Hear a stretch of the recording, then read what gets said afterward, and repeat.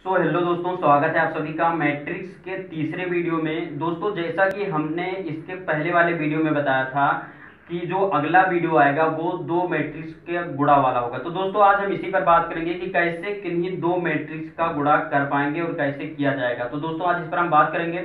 दोस्तों, सबसे पहले हम बात करते हैं कि कब किन्हीं दो मैट्रिक्स का गुणा हो पाएगा। तो सबसे पहला जो कंडीशन है, वो ये है कि अगर दो वर्ग आव्यूह हैं तो इनका गुणा आसानी से हो जाएगा। उसके बाद में अगर कोई एक आव्यू ए है और दूसरा आव्यू बी है, अब इसका हमें यदि गुणा करना हो तो गुणा तब हो पाएगा जब पहले आव्यू का स्तंभ की संख्या और दूसरे आव्यू का जो पंक्ति है, उसकी संख्या सेम होगी, तब हम इस प्रकार से दो मैट्रिक्स का गुणा कर पाएँगे। अब ये दोनों कंडीशन पहले यानी वर्ग आव्यूह में फॉलो कर जाएँगे और दूसरा आव्यूह इस प्रकार का होगा, तभी हम दो मैट्रिक्स का गुणा कर पाएँगे। तो ये हो गया। अब दोस्तों, सबसे पहले हम वर्ग आव्यूह वाला एक उदाहरण ले लेते हैं और उदाहरण का एक हम सूत्र बना लेते हैं, उसके आधार पर हम करेंगे।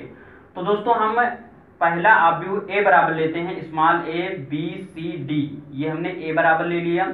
और उसके बाद में बी बराबर एक आव्यूह ले लेते हैं ई एफ़ जी एच इस प्रकार से हमने दो आव्यूह ले लिए। अब दोस्तों, हमें इन ए और बी का जब गुणा करना होगा तो हम लिखेंगे A into B equal to पहला आव्यूह ए बी सी डी लिख देंगे इंटू लगाकर फिर हम लिखेंगे ई एफ़ जी एच इस प्रकार से हमने दो आव्यूह को इस प्रकार से सेट कर लिया। अब कैसे इनका आपस में गुणा होगा इस पर हम बात करते हैं। सो so, दोस्तों अब ए बी का जब गुणा किया जाएगा तो हम कुछ इस प्रकार से लिखेंगे। ए इंटू बी लिखने के बाद में उस तरफ़ हम दोनों मैट्रिक्स को लिखेंगे उसके बीच में गुणा का चिन्ह लगाकर व्यवस्थित कर देंगे। अब हमें इन दोनों मैट्रिक्स का गुणा करना है कैसे गुणा होगा? दोस्तों सिंपल है गुणा।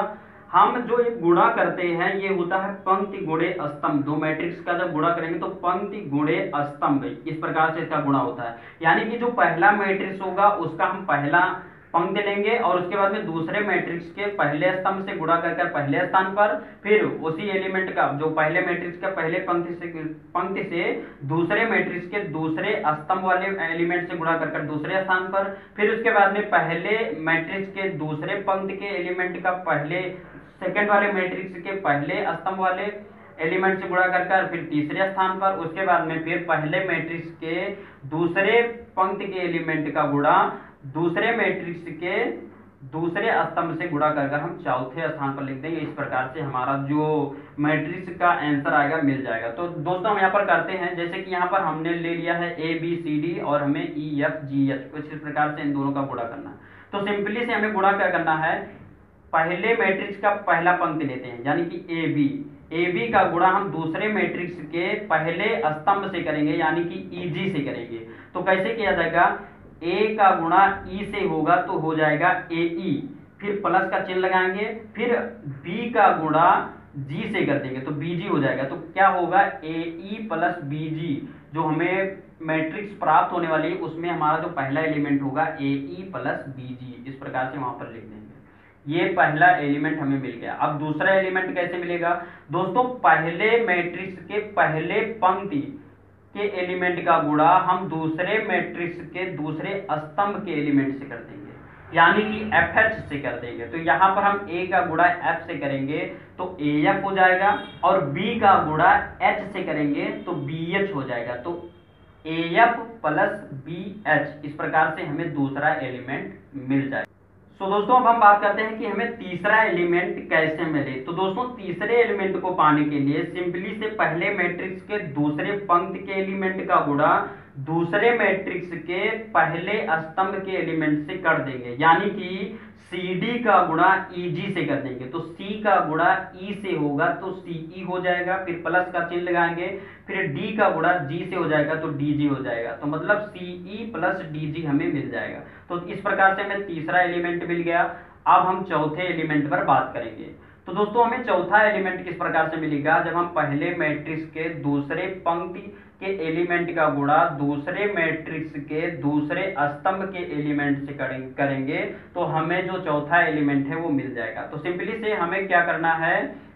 सी का गुणा एफ़ एच से कर देना यानी कि सी का गुणा एफ़ से करेंगे तो सी एफ़ हो जाएगा और डी का गुणा एच से करेंगे तो डी एच हो जाएगा। यानी कि c f plus d h हमें ये चौथा एलिमेंट मिल जाएगा।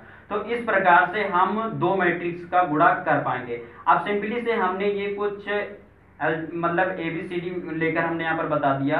अब दोस्तों, इसको अंक में जब आप करेंगे तो वहाँ पर आसानी से कर पाएँगे। सो so, दोस्तों वीडियो लॉन्ग हो रही है इसलिए जो हमारा जो दूसरा कंडीशन था यानी कि जो दो मैट्रिक्स के जो पहला मैट्रिक्स ए और बी तो ए का जो जब स्तंभ और दूसरे मतलब मैट्रिक्स का पंक्ति जब मिलेगा तब ही गुणा हो पाएगा। तो ये वाला जो उदाहरण है ये वाला जो मैट्रिक्स का गुणा है ये अगले वीडियो में बताऊँगा क्योंकि वीडियो बहुत ज़्यादा लॉन्ग हो जाएगा। सो so, एडिटिंग भी बहुत ज़्यादा करनी पड़ेगी। तो इस प्रकार से हम अगले वीडियो में उसको लेकर आएँगे तो उसको ज़रूर देखिएगा।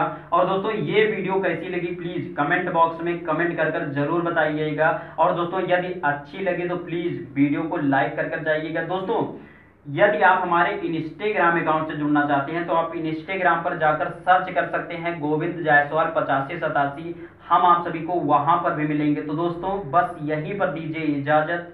जय हिंद वंदे मातरम।